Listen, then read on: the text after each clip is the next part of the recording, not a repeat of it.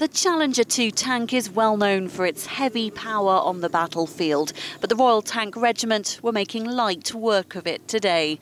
At their base in Tidworth Garrison, they were out to set a new Guinness World Record, trying to pull the tank 100 metres to mark 100 years since it came into service. The record attempt was dreamt up by one of the PTIs taking part. So I used to be an engineer, tactical engineers, and we do a lot of things like bridge building and things. So when I moved to the tank regiment, I had to think of something specific for them, and this is what I came up with. It's 100 years since the tanks rolled in in World War One at the Battle of the Somme. So it was to commemorate that and also uh, set a, a marker down for the KRH and the QRH to also follow suit. Piped out in front of a crowd of supporters, 80 personnel were picked to pull the tank, including the commanding officer. But moving the Challenger 2 was certainly going to be a challenge. More than 11 metres long, 3 metres wide, and weighing in at 62 tonnes, it's the same weight as seven Routemaster buses. But this regiment were ready to give it their all. The squadron got off to a good start, but it didn't take long before the strain started to show. Knees were weakening, quad muscles were quivering, and hands were turning red raw but they crossed the line in just over two minutes and nine seconds.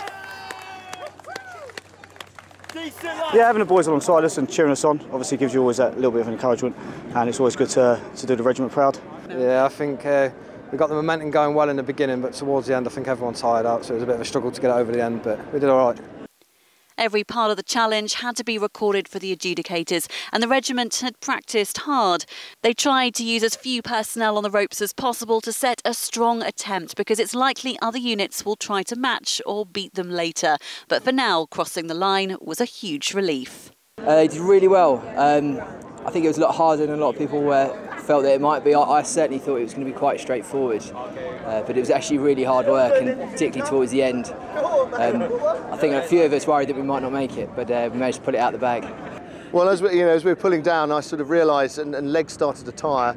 I could feel it myself, and then I realised that all around me people were feeling. And then you, you know, the people had to dig in, uh, and they started cheering each other on. Uh, and the crowd were fantastic, um, and uh, and we got there. With the challenge complete, the unit have to wait now a month until their name is in the record books. The question is now they've set the target, will any other units manage to beat their attempt? Carla Prater, Forces News in Tidworth.